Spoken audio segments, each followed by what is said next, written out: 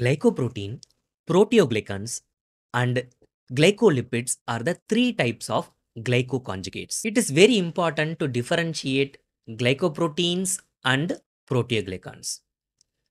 In both of these proteins, the carbohydrate is covalently attached to the protein portion. But the nature of carbohydrate is different. In glycoproteins, the oligosaccharide side chains which are attached to the proteins are short and they are highly branched. Whereas in proteoglycans, the oligosaccharide side chains are long and they are unbranched. Usually, they are made up of repeating disaccharide units. In glycoproteins, amino sugars are present. Amino sugars are what? Glucosamine. This is an amino sugar, right? Uronic acid is absent. Uronic acids are glucuronic acid, iduronic acid. These are all absent in glycoproteins, whereas in proteoglycans, you will find both. There will be N-acetyl glucosamine, there will be iduronic acid, there will be glucuronic acid. They are all present in proteoglycans, whereas uronic acid is absent in glycoproteins. As mentioned earlier, in proteoglycans, there is presence of disaccharide repeat unit, which is made up of amino sugar and hexuronic acid, N-acetyl glucosamine and glucuronic acid. One example I am giving, right? So there are many proteoglycans, right? So the proteoglycans are made up of a core protein to which glycosaminoglycans are attached. So these glycosaminoglycans are what? They are this. They are made up of amino sugar and hexuronic acid, right? So there are many glycosaminoglycans. Chondroitin sulfate, dermatan sulfate, heparin, heparan sulfate, right? In glycoproteins, there is no such repeating disaccharide unit present. The carbohydrate portion in glycoprotein is short and highly branched oligosaccharides. There are three types of glycoproteins N linked, O linked, and GPI anchored glycoproteins.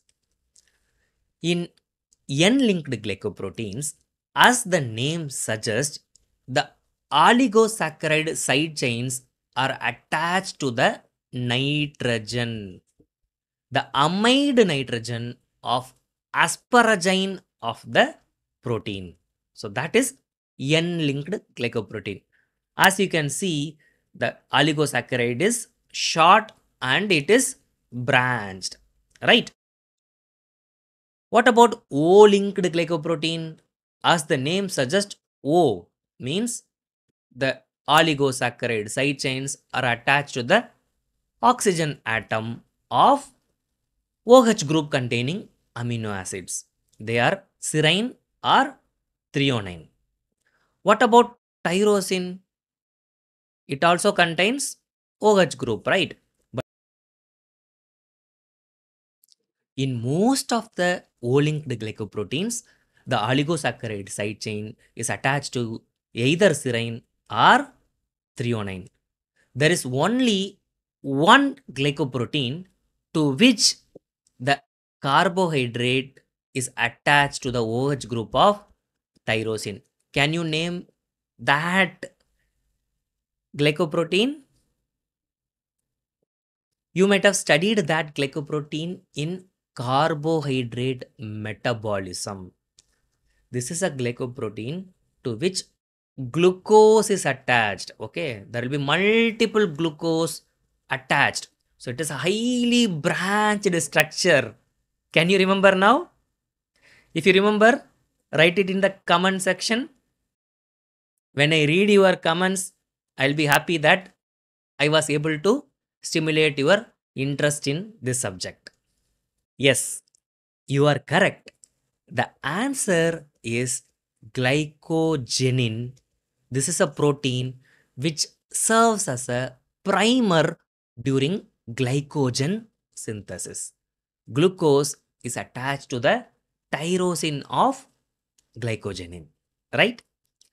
The third and final type of glycoproteins is GPI anchored glycoprotein.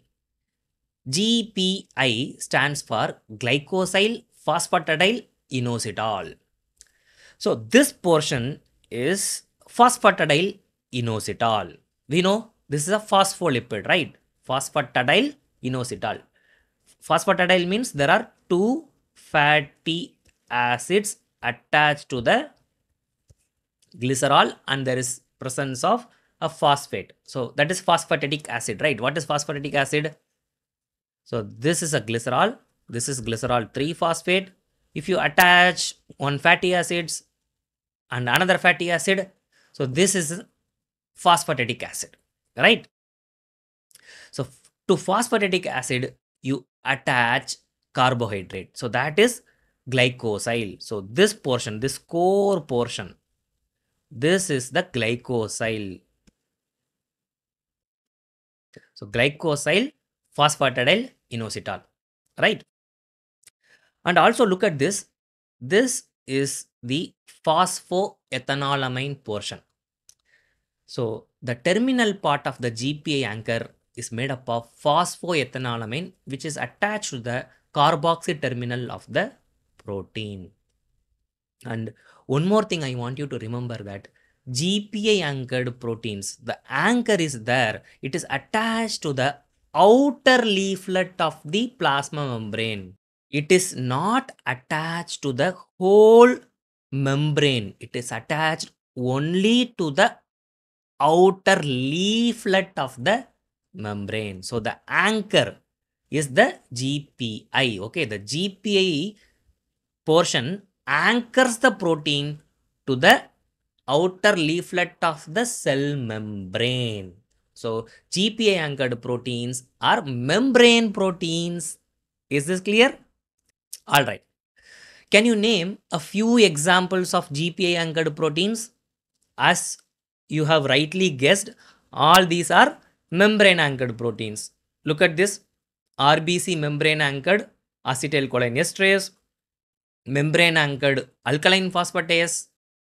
CD55 is decay accelerating factor.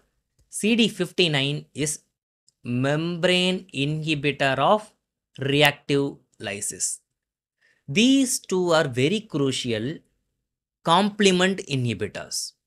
We don't want the complement system to be activated by mistake on the surface of RBC membrane.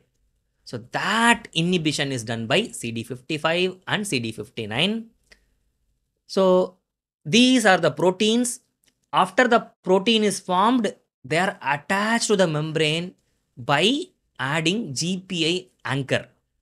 So the formation of GPI anchor is done by a protein called PIGA. So this is a gene, PIGA gene. Glycosyl phosphatidyl inositol type A or group A. Okay.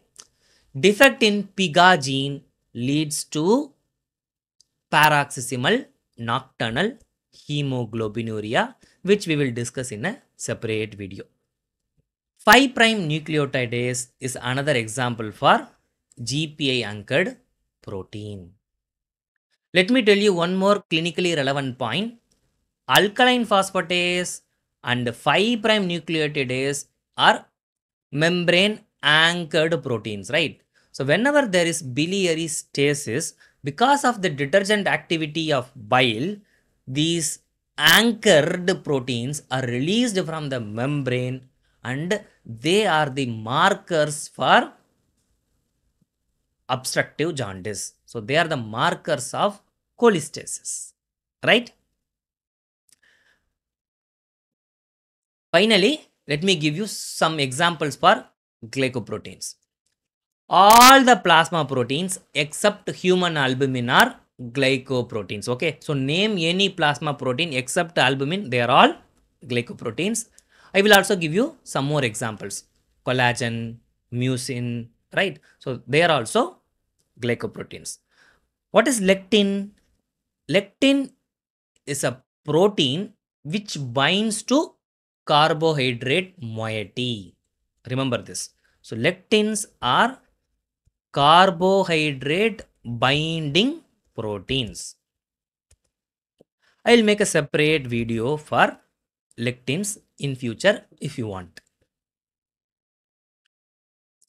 I hope you have understood the difference between glycoproteins and proteoglycans, the three types of glycoproteins, the role of GPI anchor, and you can now appreciate the few examples of glycoproteins in the human body clearly. Thank you for watching this video. Please share this video with your friends if you think I am doing a decent job. Thank you.